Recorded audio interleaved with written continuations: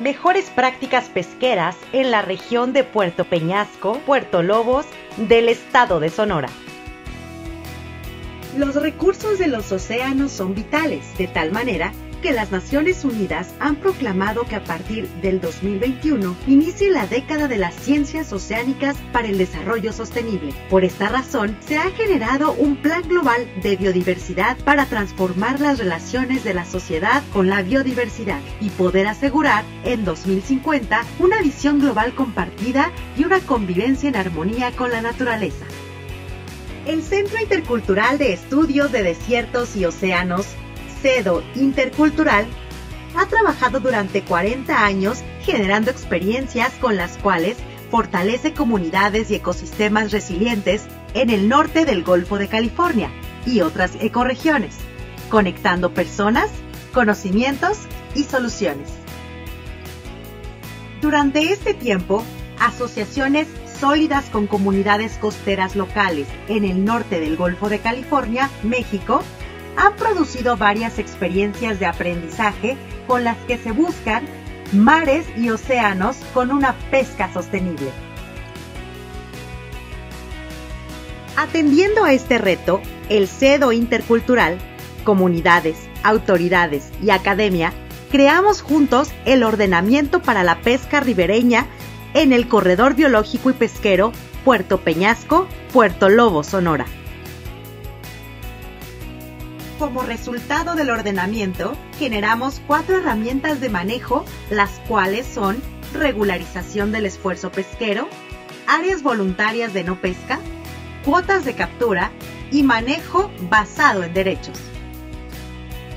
Al mismo tiempo que se fortalece los derechos de propiedad y se promueve el empoderamiento de las comunidades para mantener la productividad de 11 especies comerciales prioritarias debido a su importancia socioeconómica y ecológica.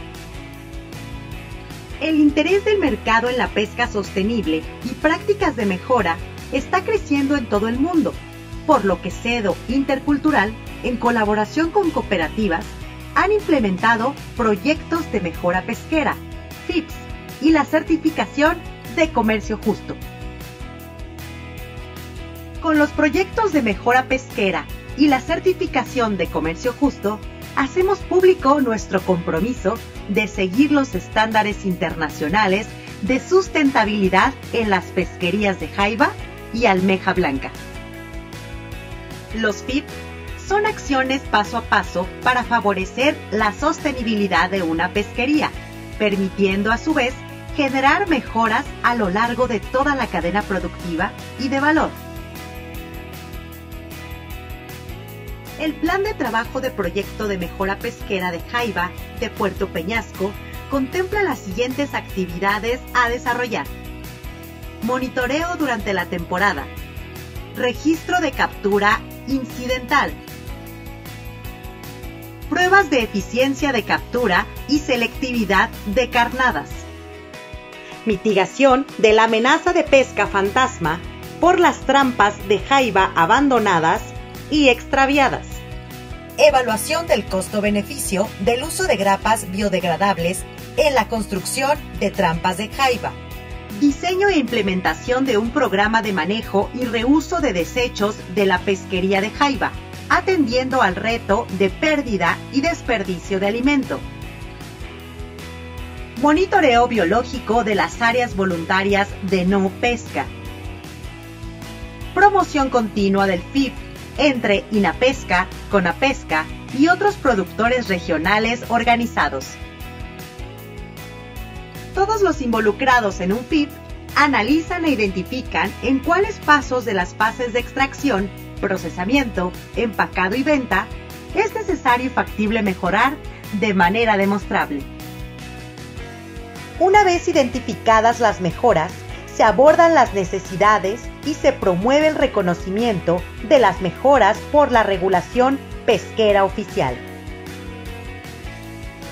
Debido a lo anterior, es importante que todos los actores se comprometan con el FIP. Cabe señalar que los proyectos de mejora pesquera son públicos, transparentes y auditables. Por lo que respecta a los certificados de comercio justo, funcionan de tal forma que pueden dar certeza a los consumidores de que el producto que está siendo comprado se generó dando a los pescadores y trabajadores una remuneración justa por su trabajo. Lo anterior se puede traducir en mejores precios y salarios, así como condiciones laborales favorables, además de los aspectos del cuidado del medio ambiente.